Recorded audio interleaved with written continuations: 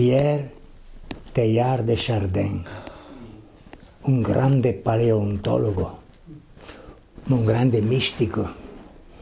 Il suo nome dalle labbra di un papa non è stato mai pronunciato se non con Benedetto XVI perché anche lui è un mistico, anche lui è un amante della natura come lo era. E quando è andato in, eh, in, in Savoia, va bene, quando su Aosta, ecco, eh, dinanzi allo spettacolo delle... Scusi. L'ho buttato via no, io. No, no, no, no. Ecco, così. Dinanzi allo spettacolo delle nevi, delle montagne imbiancate, così ha detto, mi, mi pare che qui potrebbero risuonare le grandi parole di Teilhard de Chardin, la messa sul mondo. Tutto il mondo, l'altare eucaristico. Beh. E insisto spesso con me, con i miei amici, dico guarda, io sono stato anch'io bambino delle scuole elementari e grazie a Dio la memoria mi rimane presente di tutti i successivi passi e stazioni che ho percorso nella mia vita. In terza elementare ho avuto una maestra, era appena, aveva 17 anni, perché allora la, le scuole magistrali superiori erano 4 anni, non 5. Beh, aveva ben 17 anni era figlia di un fabbro ferraio, io sono veneto. E come si usava anche tra di noi, si pensava che la figlia di un fabbro può fare la serva, aspirare ad essere diplomata, fare la maestra. Ha consacrato tutta la sua vita alla scuola, all'azione cattolica femminile, alla sua famiglia. Era una santa autentica è morta ultra novantenne anche lei, molto bella. Ricordo quando una bella carta geografica a colori, eh, lo stivale, eh, descriveva con la canna in mano le montagne, i fiumi, le città, le regioni e poi dava i dati che io sento come se fosse lei che me li detta adesso. L'Italia ha una superficie di 310.000 km quadrati, che come sapete sono diventati 300.000, calati 302 quando abbiamo perso l'Istria. Ha 35 milioni di abitanti eravamo allora, quando ero bambino io. Però abbiamo anche territori d'oltremare, la Libia, la Cirenaica, l'Eritrea, la Somalia, il Dodecanesio, 12 isole con la capitale Rodi. E per colmo di ironia, lei diceva quello che erano i manuali di allora. E abbiamo anche la concessione di Tianjin in Cina, 5.000 km quadrati, dove c'era il famoso battaglione San Marco. Chiamava, chiamavamo concessione ciò che avevamo rubato. Sentite, la storia non è solo di questi giorni, è lunga e grande la storia. Ho detto appena adesso all'osservatore romano, gli ho fatto un'intervista, sia per la venuta del Papa nella vostra regione a Loreto, no? giovedì prossimo, sia per l'11. Ho detto, guardi che Papa Giovanni non era un ingenuo, anzi diceva se dopo di me si fa diversamente, io ho obbedito alla mia coscienza. Ho detto lo scriva questo, il vecchio capovilla ha mandato a dire al Papa attuale, e vengono da me anche vescovi, cardinali, e devo dire rimango edificato della loro fede e del servizio che svolgono. Vengono tanti missionari e tante persone mi domandano magari, non criticamente, ma come una domanda, se il Papa ha preso questa decisione, cosa direbbe Papa Giovanni? Ha fatto questo documento, supponiamo una domanda, Papa ha prolungato oltre misura il colloquio con gli efebriani, è venuto incontro a loro in tutte le maniere, che cosa direbbe Papa Giovanni? E io rispondo a tutti, niente, non è mica Papa lui di papi ce n'è uno solo, quello vivente. Gli altri, tutti, tutti gli altri, meritano rispetto, devozione, amore, gratitudine e, e poi tributare loro tutte le lodi che vuoi, ma non è il Papa. Non sei, non sei più tenuto a riferirti a lui. Il Papa è uno solo. E siccome Papa Giovanni nel suo stemma, il motto suo episcopale, ma che aveva conosciuto da ragazzo, da giovane studioso di storia, era preso dal cardinale Cesare Balorio, il padre della storiografia cristiana, cattolica, no? sì? obbedienza et pax. Guardate, in tanti anni che sono stato con lui, sia da cardinale sia da papa, non ho mai sentito una critica rispetto a un papa, vabbè, oppure anche a un personaggio della curia. E mi ha insegnato questo, cioè alla tavola del mio vescovo. Ha avuto un grande vescovo lui, un grande padre, che è morto a 57 anni di cancro come lui, stessa malattia, stesso percorso, stessa fine. Beh, alla tavola, quando si faceva e veniva fuori il nome il Papa, si toglieva lo zucchetto immediatamente. Se c'era da leggere anche a tavola, va bene, un telegramma arrivato non dal Papa direttamente, che i papi non firmavano i telegrammi, ma la segreteria di Stato, si alzava in piedi. Si alzava. Questa abitudine c'era anche in tutti i nostri congressi. Il presidente del congresso diceva, leggiamo il telegramma non diceva del segretario di Stato, il telegramma del Papa, tutti si alzavano in piedi. Adesso siamo così screanzati che non lo facciamo più. Non lo facciamo più. O meglio, distratti, ecco vorrei dire, meglio dire distratti. Cioè, obbedienza e pace. È venuto una volta un prelato, vescovo, bravo, buono, retto, mi ricordo era un anno 1954 a Venezia e dice Eminenza, Roma è tutta piena di questo libro adesso, come in questo momento in Italia del libro di quelle rivelazioni di cui si parla in questi giorni, un libro del genere, forse anche peggio, forse anche peggio, su Pio XII. E dice, Eminenza dice, se vuoi dare un'occhiata, così. Io ho detto, no, no, non è roba per me questo. Ha fatto nessun commento. Quando è andato via quel prelato, mi ha detto, guarda, è bravo, sa, bravo, buono, fedele alla Santa Chiesa, ma sa, ha un po' l'abitudine alla romana, parlano così con leggerezza. Se vuoi leggerlo tu, mi ha detto. Io ho detto, il biciaia poi lo buttai via. È una cosa orrenda. Tanto perché sappiate che le cose di oggi possono essere state anche ieri. Obbedienza e pace e, e arriva una parola da Roma della, di una congregazione, non ho mai sentito una critica. Se lui dissentiva, lo scriveva delicatamente, forse sarebbe da rivedere eh, il modo di esprimersi, perché lui era sempre per il rispetto e per ciò che è positivo.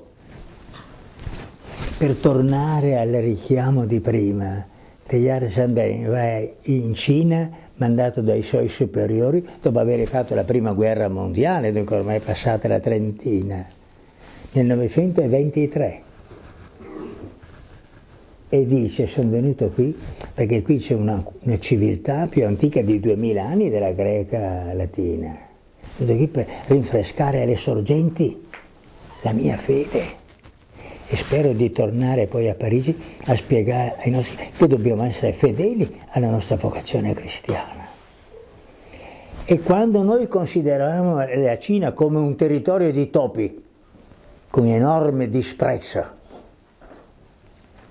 Teilhard Sardin dice non si converte se non chi e ciò che si ama. Perché sembra, sembra che sia il testamento di Gesù questo. Quando Teilhard de Chardin dice no, la legge dell'incarnazione qual è? Ma, Dio, ma mi mandi i tuoi figli in mezzo a noi che siamo dei lazzaroni. La legge dell'incarnazione è discendere, discendere. Noi dobbiamo entrare in tutte le articolazioni del mondo, non per assimilarle, ma per divinizzarle, se è possibile, perché solo così si scopre l'azione di Dio, che è l'azione che Dio fa nella natura. Ho, detto, concludendo adesso l'intervista con l'osservatore romano, i miei occhi di carne, adesso poi una stagione che va anche verso l'inverno, vedono il chicco di grano che buttato a terra muore. E non, e non sono così sciocco da pretendere, ho seminato adesso, o fine ottobre, ho seminato, adesso a Natale mangerò il pane e non devo rispettare le leggi della natura, la provvidenza di Dio. Devo aspettare giugno, ma io che sono vecchio più, anche voi potreste terminare la vita in 24 ore, ma dico io più di voi, dico chissà se arriverò io a giugno dell'anno 21, però se gli occhi di carne vedono ancora il chicco che muore, gli occhi della speranza vedono la spiga indorata dal sole. E proprio pensando al viaggio che farà giovedì, ho, ho detto all'osservatore, eh, mi ha interrogato, ho detto, senta, è stata una giornata straordinaria. Credo proprio finora è stata irripetibile. Nessuna preparazione no, no, non interpretate male quello che dico adesso. Eh. Nessun movimento si è appropriato del viaggio del Papa. È stato un viaggio della Chiesa cattolica nel suo insieme e dell'Italia, che con tutti i suoi difetti è un popolo buono. Quello che ho provato io passando alla stazione di Terni, allora con malinteso anticomunismo, di disprezzo quanto mi dispiace se voi foste innamorati di certe persone. Perché voi vedete in questo tempo, noi abbiamo avuto in Italia, e lo faccio in nome, una grande donna, culturalmente superiore a me mille volte, Lauriana Fallaci, ma quanto odio ha, ha diffuso nel mondo verso i musulmani, con l'odio cosa facciamo? Guerre, distruzioni? Che cosa, che cosa costruiamo? Niente. Guardate che anche nelle marche, nelle parrocchie, se vi ricordano quando ero io, c'ero, andavano matti per andare a vedere i film di Guaeschi. Una persona intelligente apre subito gli occhi, ma quella è una strumentalizzazione politica, quello non l'ama l'avversario ma Gesù Cristo ti ha detto pre, prega, ama e, e i tuoi persecutori, noi non li amiamo ancora. Con che coraggio diciamo sono cristiano se non imito Gesù mite e umile di cuore, che razza di cristiano sono? Noi abbiamo seminato odio qualche volta. Ho sofferto tutta la mia vita per questo. Ricordo ero un ragazzo di 15-16 anni, seminarista, e il parroco di campagna, buono, bravo, caritatevole, vero? E, chi presiedeva un piccolo paese di campagna, mm, cenavo con lui alla sera e dopo facevamo due passi nel corso principale, magari, e passavano i ragazzi e io, ciao Beppi, ciao Tony, lui mi dà una spinta No, non devi salutare tu per primo, sono loro devono salutare per primo. Ecco questa, questa aria di, di action. Un'altra volta sento una bestemmia detta da un povero carrettiere, povero ignorante, una bestemmia grave, si capisce, chiama il maresciallo dei carabinieri e gli danno una multa, perché allora se non lo sapete, i signori, i padroni, anche adesso, sono disposti a dare soldini per metterci sotto i piedi. Nel 1948 tutta Italia inneggiò per vittoria democristiana. Ma questo è un fatto politico però. Un prete in Italia, anche di lui si farà la causa di beatificazione, dopo averlo disprezzato. Primo Mazzolari, che scrive contrariato da tutti, da tutti i suoi colleghi, non vorrei che questa vittoria fosse l'inizio della nostra sconfitta. Io sono niente in confronto a quello che era questo grande prete, quello che ha sofferto, le umiliazioni che ha avuto. Per spiegare a voi giovani, questo primo Macciolari aveva le tasche così grandi che poteva mettersi in tasca dieci cardinali e ce ne stavano altri due. Capite? Vissuto povero. C'è una frase nel suo testamento che ancora mi commuove perché io ho conosciuto lui, la sua famiglia, sua sorella. E, e nel testamento scrive, uno scrupolo mi rimane, la mia sorella Giuseppina, che dopo aver trascorso tutta una vita a mio servizio, perciò a servizio della Chiesa, adesso rimarrà come un uccello che canta su un ramo spoglio d'inverno. Dopo tutti abbiamo concorso ad aiutarla. Io non sono primo Mazzolari, ma quando abbiamo trattato il famoso 8 per 1000, anch'io ho pensato la stessa cosa. Non vorrei che fosse l'imborghesimento del clero perché noi siamo usciti dal seminario e eravamo allo sbaraglio.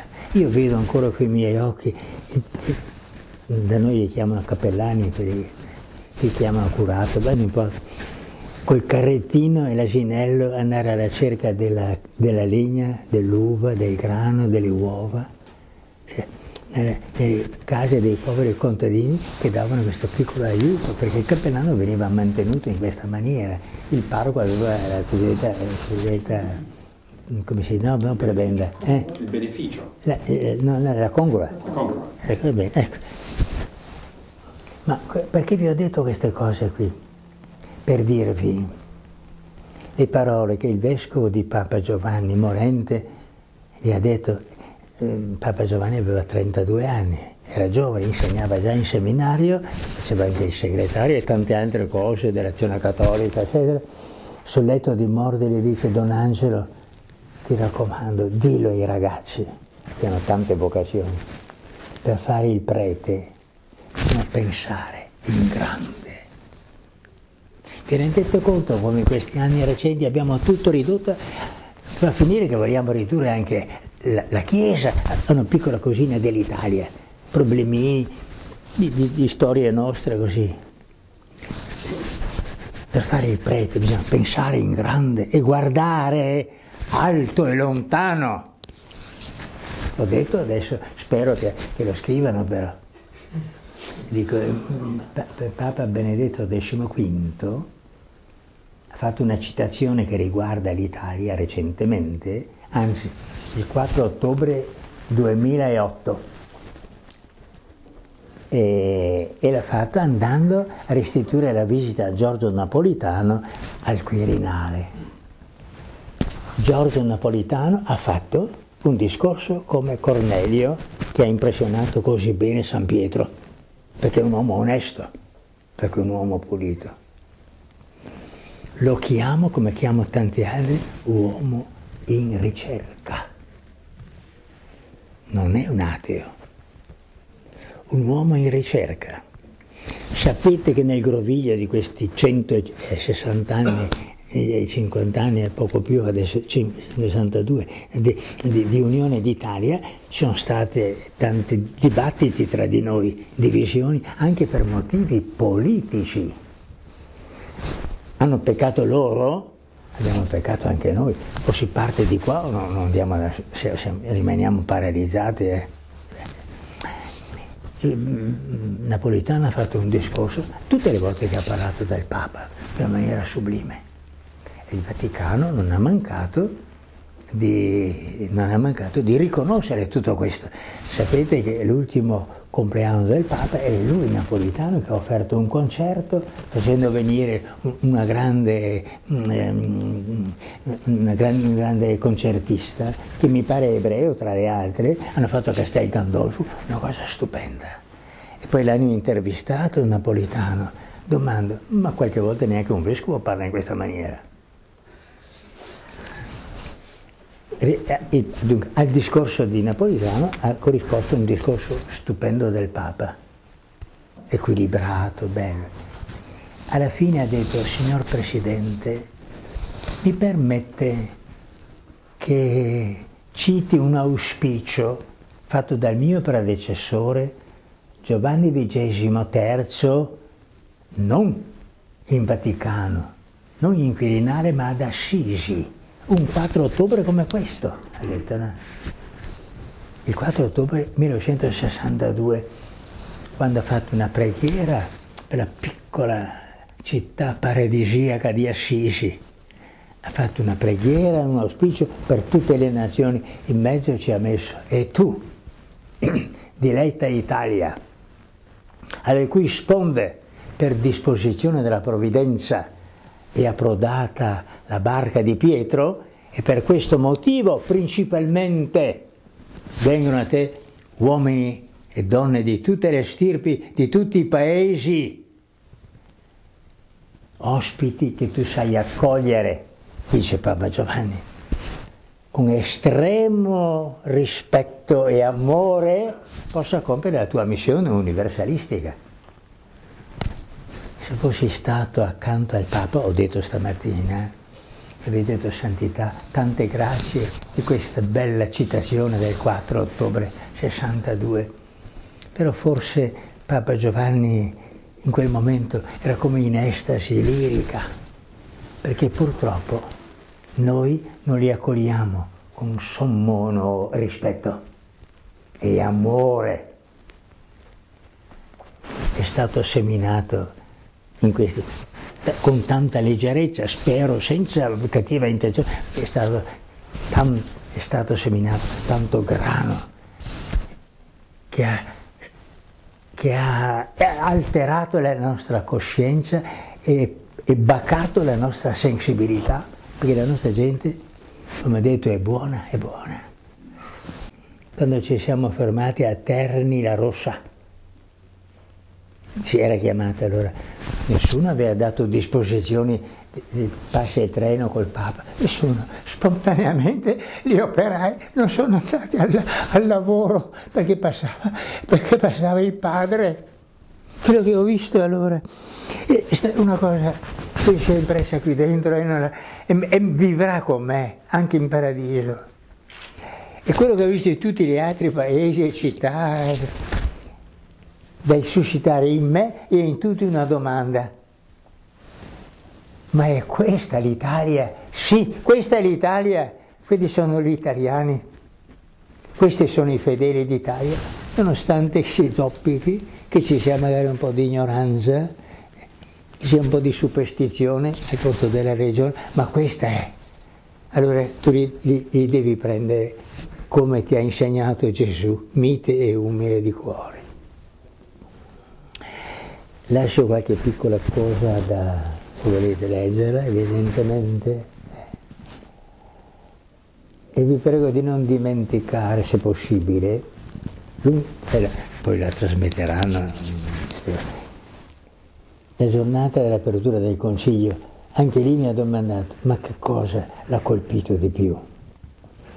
Lo spirito di raccoglimento e di preghiera, migliaia e migliaia di donne e di uomini nei monasteri hanno fatto del mondo intero un unico cenacolo. Perché? Perché noi ascoltiamo la parola di Gesù, ravvedetevi, prendetelo, accettatelo, il, questo benedetto Vangelo e credete al Vangelo. Per questo, quando ho visto Papa Giovanni sulla predella, naturalmente vero, senza lo giucchetto in capo, senza la mitra, inginocchiato, come un ragazzo che in parrocchia dice le preghiere col suo parroco davanti a tutta questa folla di 2500 vescovi, poi le rappresentanze dei fratelli e sorelle separati, di tutti i popoli, missioni speciali, con voce, aveva una voce incantevole e bella.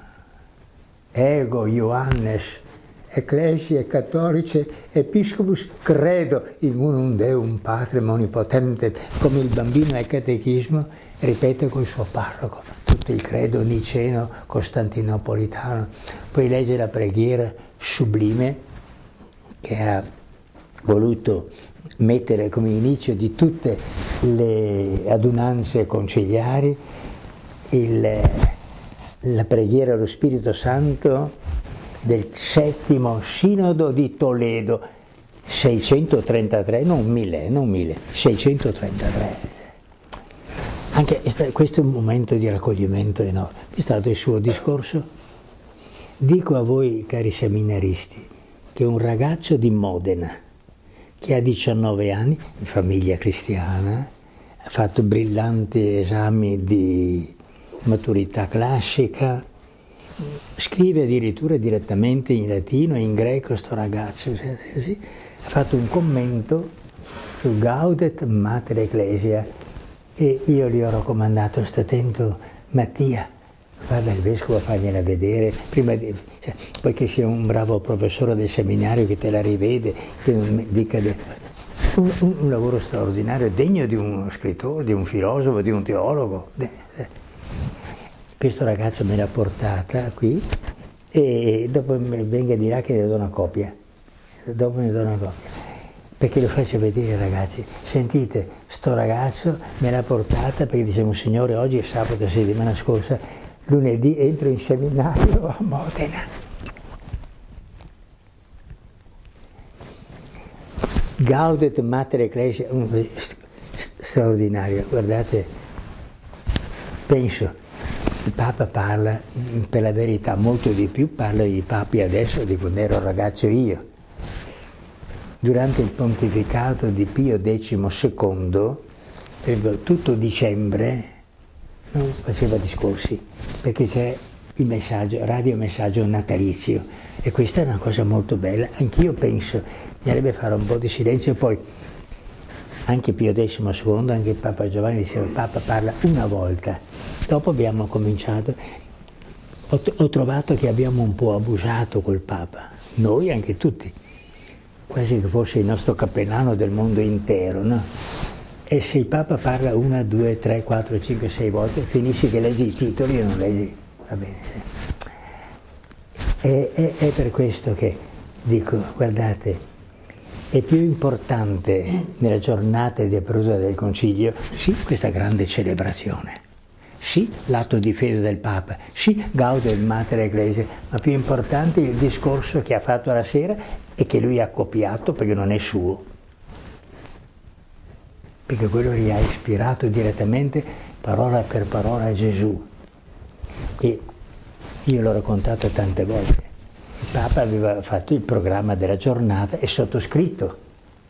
E, e l'ultimo numero della giornata c'era ore 19.30, il Santo Padre dal suo appartamento si affaccia a salutare ancora una volta i padri e l'azione cattolica romana che ha preparato la grande fiaccolata, anche io ricordo di Efeso la divina maternità di Maria. Quando è l'ora, il segretore di Stato mi telefona e dice guardi che è tutto pronto, adesso accendono le fiaccole, avverte il Santo Padre, busso alla porta, vi stava parlando col segretario di Stato. Dice che c'è?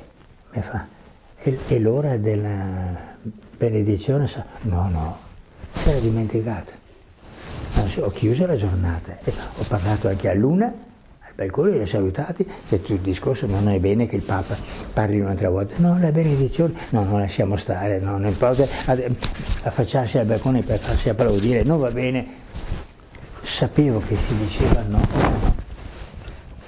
E sono solo un grande letterato italiano mi ha scritto Museo Capovilla, lei qualche volta adopera delle parole che ormai sono in disuso ma sono molto significative. Detto, sono ricorso a una gherminella, che sarebbe, che, conoscevo un suo lato debole, tutti l'abbiamo, era curioso lui, era curioso, se fosse stato stanco morto di una visita pastorale, gli dico, qui sopra c'è un quadro, supponiamo, non so, magari di un pittore suo bergamasco, la stanchezza andava via per voler andarlo a vedere, hai capito? si fermava nelle chiese a leggere le lapidi, era tutto contento quando a Venezia trovava una lapide con un nome bergamasco per dire, no? Era le sue piccole gioie. Quando gli domandavano che, ma quali sono i libri che lei legge per divertimento, per svago, dice, i padri della Chiesa, capito? Allora sapendo questo gli ho detto, non importa, Santo Padre, ho guardato io fuori, guardi che la, la piazza è come incendiata. Come incendiata fa lui? Eh, c'è 100.000 fiaccole accese, si alza dalla poltrona e va alla finestra, guarda attraverso le, le tapparelle, no? Ha un, un, pensiero, non so cosa è passato, ha detto, si volta verso di me quasi severamente, mettimi la stola, gli metto la stola, mi fa col dito, do la benedizione, eh, ma non parlo, eh. no Santo Padre, nessuno l'ha chiesto. E va al balcone e riesce questo, quello che è passato col nome del discorso della luna o della carenza ai bambini. Io ho commentato molte volte questo discorso, ho detto l'accenno alla luna è molto bello perché eh, dice abbiamo celebrato una grande giornata di pace, di pace lo ripeto, poi dice guardate la luna là in alto, sembra essersi affrettata stasera per assistere anche lei a questo spettacolo che la Basilica Vaticana che ha 400 anni, la nuova, si capisce l'attuale, no?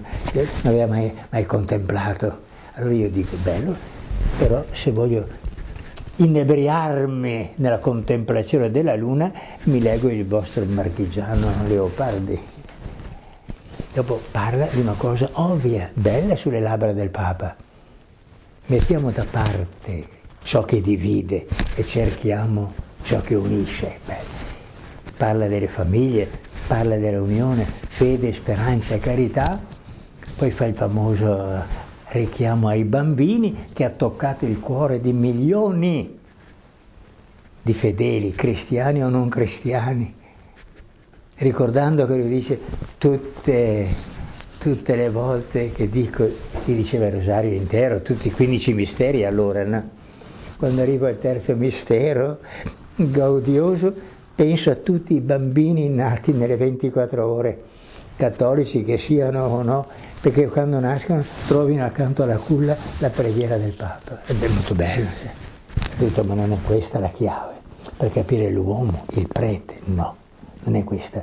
E quando lui, vecchio e malato, sa che è entrato già nell'ultimo tratto di strada, pensa alla campagna da cui è uscito, va bene, pensa, pensa al suo papà, ai suoi fratelli, ai suoi nipoti ancora chinati, eh, sulla terra, l'umiltà del suo piccolo paese e, e, dice io, tutti questi qua che sono qua davanti, li fate venire io?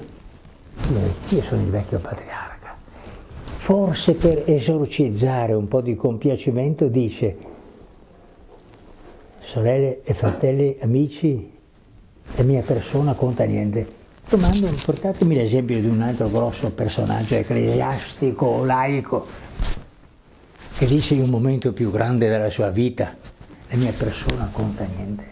È un fratello che parla a voi, divenuto padre per la volontà di nostro Signore, ma paternità e fraternità è tutt'uno, è grazia di Dio, tutto, tutto è grazia di Dio. Poi finisce, dalla benedizione rientra, mi guarda e dice andata bene. E Santo Padre, siamo tutti commossi e grati di quello che ha detto. Quando ho detto tutto è grazia, sai a chi pensavo? C'è anche un romanzo che finisce con queste parole, il diario di un prato di campagna. Non devi ascoltare i miei consigli, ma credo che se un giovane legge il diario di un curato di campagna gli farà bene, non è un libro vecchio, va molto bene, lasciamo stare. Dice, pensavo a Teresa di Gesù bambino, la quale una notte ha avuto un forte sbocco di sangue, era tisica.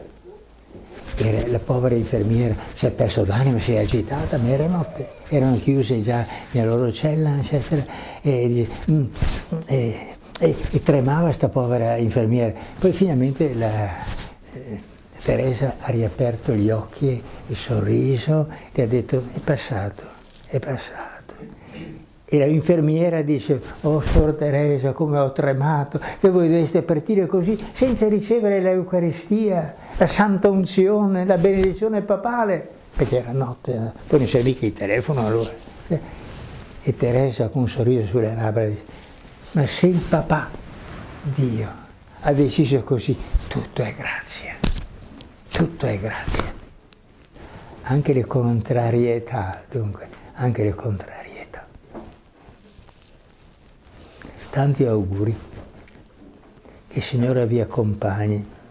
Per favore non dimenticatelo, per fare il prete, pensare in grande e guardare alto e lontano.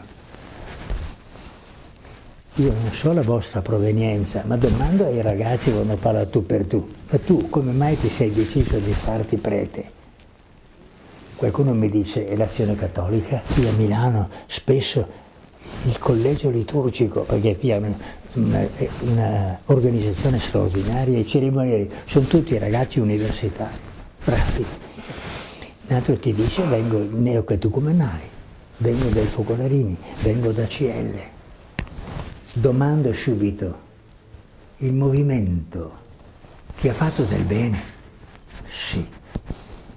Allora per tutta la vita dovevi essere grato di questo e ringraziare Dio di questo incontro, però ricordati che tu è entrato nel seminario di Fermo se sarai incardinato, supponiamo a Fermo, quella è la tua chiesa. Tu sei un prete della diocesi di Fermo, con la sua storia, la sua tradizione, i suoi santi, il suo popolo. Non dirai mai sei cielino. No, non è bello. Sono neocatecumenale. No, Insomma, io non vado mai in giro a dire io sono terziario francescano, lo sono, sono felice di essere, sono grato di essere stato aggregato a questa grande famiglia. Ma io sono prete della Chiesa romana, sono stato prete della mia città di, di Venezia, l'ho amata, la amo perdutamente anche questa perché non posso nominarla senza commuovermi. Ama la tua terra, la tua gente, umili, poveri, modesti, peccatori, amali. Questo è fare il prete, questo è fare il prete. È il seguito di una obbedienza o ci ha messo di suo? Perché Papa Giovanni mi ha insegnato questo. Quando mi hanno chiamato a militare, sono andato a, Milano per l'arruolamento, aveva fatto il militare già per la prima guerra mondiale, no? e sono andato in quella che adesso è l'Università Cattolica, Sant'Ambrogio, eh, sì. e, e, lì eh, c'era una gran confusione. Era il giorno dopo la dichiarazione di guerra, figurati, non eravamo neanche organizzati, ne abbiamo combinati e siamo stati. E, e, e sente uno che gli dice, senti un po', tu da dove vieni? Dice, da Bergamo, vuoi andare a Bergamo? Cioè, se dai al caporale che sta facendo 10 lire e ti, ti, ti arruola a Bergamo, no non, non voglio scegliere io. Scrive nel suo diario, dove andrò? Finirà la mia vita in un campo di battaglia. No, io non domando niente. Quelle, quelle che sono le imbrogli di questi ultimi anni, c'è stata una scuola di ladrocinio nel nostro paese più che in altri paesi, purtroppo io lo devo dire come la penso. Poi dopo viene uno, un ufficiale, dice sentite, dice, dobbiamo, Bergamo è considerata città aperta nelle, nelle, nelle retrovie, va bene, e, e faremo città sanitaria, apriremo 3, 4, 5 ospedali, se c'è qualcuno di voi che vorrebbe andare a Bergamo, cioè, a me lo domandi, cioè, io sono di Bergamo, se, se mi mandate e, e, scrive con un piccolo tono ironico, sono andato dal cardinale Ferrari, che li conosceva già bene, a prendere la benedizione, gli ho detto che avevo risposto a questa chiamata in questa maniera, mi ha lodato e il giorno dopo, come se fossi un trionfatore, a capo di un drappello di 15-20 ragazzi, siamo apriti. Io ero l'unico prete del seminario che era stato arruolato e sono stato il primo a rientrare nel seminario e tutti loro hanno dovuto sloggiare perché l'hanno dichiarato eh, ospedale militare. Ma Dio mi ha mandato, non io, non io. E tutta la vita è stato un susseguirsi di obbedienza et pax. Io ricordo quando il Papa Pio XII nel 1957 gli, gli fece chiedere Monsignor dell'Acqua se sarebbe disposto ad accettare la congregazione dei vescovi e lasciare Venezia. Lui me l'ha mostrata subito e ha detto ho sentito un colpo al cuore, se è volontà del Papa la si fa. È andato in cappella, ha pregato e poi ha chiamato al telefono Museo dell'Acqua che era stato il suo collaboratore. Don Angelo dice, di al Santo Padre che come è stato tutta la mia vita disponga. Però nel, nel messaggio, nella lettera c'è scritto se accetterebbe, cioè, eh, lo sottopone a un mio sì. Se è volontà del Papa, è già accettato. Se invece chiede il mio parere, se vuole lasciarmi morire a Venezia, sono contento.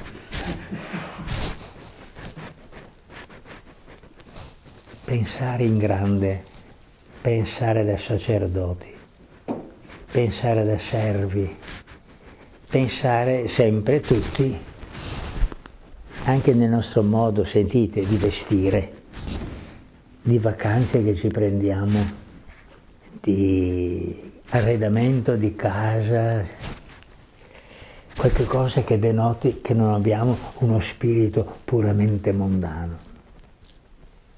È stato qui un prete tempo fa, bravo, Bergamasco, e dice, Monsignor Capovilla, con i miei compagni, siamo ancora un bel numero, una trentina, sì, sui 40 anni, 38, cioè, ogni anno facciamo gli esercizi spirituali insieme. Ah, bello, sì, sì, il vescovo lo sa, siamo stati un anno a Lourdes, un anno a Fatima, un anno a San Jacopo di Compostela, un altro anno in Terra Santa, un altro a Roma. Adesso abbiamo desiderio di andare al santuario di Guadalupe in eh, Messico. Io non ho fatto nessun commento, abbiamo parlato di, di quello che stavamo parlando. Quando è andato via, ho detto, senta, durante tutta la nostra conversazione ho pensato a questo che lei mi ha detto, per favore non lo dica a un modesto professionista, a un operaio, che lui risponderebbe io questo lusso non me lo posso prendere. Dobbiamo stare molto attenti questo, molto. Siamo guardati. Qualche volta siamo anche criticati ingiustamente, ma qualche volta lo meritiamo. meritiamo come teniamo, come viviamo, come spendiamo. Poi mi sono domandato tante volte questo, ma noi predichiamo la giornata, supponiamo, eh, del seminario, ma io prete do la mia offerta. Facciamo la giornata delle missioni, domandiamo ai fedeli con fervore, ma io do la mia offerta. Guardate che a Loreto, siccome sapevo le contrarietà di tanti, ho detto quando escono quei cestini per andare, prima vengono a, da me, eh, che sono nel faldistorio, o che sono alla poltrona, quella che è, e io per primo tiro fuori le mie bustine e metto l'offerta. E da allora tutti gli istituti religiosi hanno fatto la stessa cosa, con semplicità. Direte dove vuole parare adesso? Voglio solo dirvi che ho tanta gratitudine per la diocesi di Fermo, perché quando sono andato a Loreto, io non sono un esperto in economia, e ho detto a Monsignor Benelli, che era allora il sostituto, bravo, bravo, un vero servitore della Chiesa, e dice, senta, dice Monsignor Capovilla, quanto all'amministratore, dice, si scelga come vuole, lei è veneziano, se è un amico a Venezia. No, eccellenza. Siccome io sono stato nominato da Santo Padre, non mi scelgo un mio amico degno di rispetto, no, me lo date voi. E io il nome che voi mi fate lo nomino. E lui mi ha detto, dalle Marche abbiamo notizie molto buone, belle, c'è di dell'economo del seminario di Fermo, non sapevo né nome né cognome, lo nomina. Io lo nomino, sono contento di questo, ma so che me ne avete dato voi. In omnibus et sempre obbedienza et pax. Basta. Eccellenza, chiedo scusa, una domanda. Eh. L'ispirazione del concilio in Giovanni XXIII è avvenuta nei tre mesi di pontificato oppure è nata anche prima che diventasse Papa? No, non aveva abitudine di dare consigli al Papa o ad altro, diceva io sono qui, faccio quello che la Santa Sede mi decide. Però lei mi deve dire, ma nel 1917, non era passati tanti anni, non è stato promulgato un codice, un codice che si chiama Piano Benedettino, perché è stato fatto, lavorato al tempo di Pio X. Pio X è morto nel 14 e nel 17 è stato promulgato, è promulgato Benedetto XV. Domando, lì c'è un capitolo a caratteri grossi, un titolo, De Concilio Ecumenico. Stamattina nella domanda dice, ma è vero dice, che ci sono stati dei contrari? A questo non lo so, perché se uno era contrario eh, pecca, perché questo non ha inventato Baba Giovanni come se, se, uno, se, uno, se uno strumento di governo, un, uno strumento che serve soprattutto alla teologia pastorale, è, stato, è, è codificato, come potrei essere contrario? Se non lo faccio io lo farò un altro, dobbiamo ricorrere. Il codice canonico impone addirittura eh, i, sinodi provinciali, i sinodi diocesani, qualche volta passano di 20, 30, 40 anni, situazioni che portano a questo per guerre, tanto, ma però dobbiamo farlo e aggiornare quella, quella disciplina, quella legislazione che è utile per tutti. Il sinodo diocesano, se, se, il vescovo fa secondo le norme che sono state date, lo fa sempre al termine della prima visita pastorale, perché nella visita ha visto, ha osservato, ha fatto dei decreti. Quei decreti poi discussi, ragionati, ripuliti, insieme con, dei, i suoi consultori, diventano la norma, la legge sinodale per tutta la diocesi. Quando qualcuno dica, beh ma sa qualche vescovo fa il dittatore, comanda quello che vuole dire, lo so, siamo peccatori, può darsi che qualche vescovo anche sbagli, perché c'è scritto però un canone che dice unus legislator sinodi episcopus, allora non puoi colpevolizzare però a me sembra che non c'è vita pastorale di governo se non è, se non è collegiale. Ecco perché si fanno le adunanze presinodali, le commissioni, eccetera. Questo è, una, questo è qualcosa che è la Chiesa, che il concilio è calare, che vuol dire in latino essere chiamato. Allora, per primo è chiamato il Papa, guarda che c'è questo strumento a tua disposizione se vuoi lo puoi rimandare.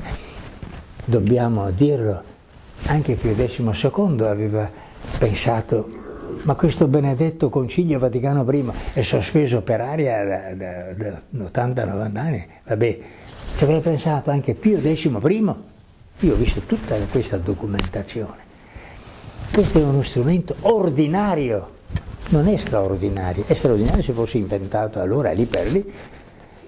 Dico a tutti, ma scusate, ma prima del ventunesimo ce ne sono stati altri venti. Ma il primo impropriamente detto, ma è un concilio di Gerusalemme con Pietro e Giacomo e Paolo e Barnaba, il 50 d.C., siamo appena all'inizio. E gli Atti degli Apostoli dicono che c'è stata una lunga discussione, non in 4 e 48 o autoritativamente il, il, il San Pietro facciamo così, così, così, alla fine ha trovato la bellissima formula, è piaciuto allo Spirito Santo e non a me, a noi. Ecco la collegialità, perlomeno in embrione. Ecco. Io sento che stiamo camminando, che stiamo maturando, lo sento tutto questo, come qualche cosa che accadrà fra 30, 40, 50, 70 anni. Io so che tu dici, ma io non ci sono, cosa importa? Chi sei tu? Sei un piccolo uomo che una piccola parentesi sei chiamato ad accettare e a testimoniare. È molto bello questo e ci rende anche molto umili se Dio ci aiuta. Auguri.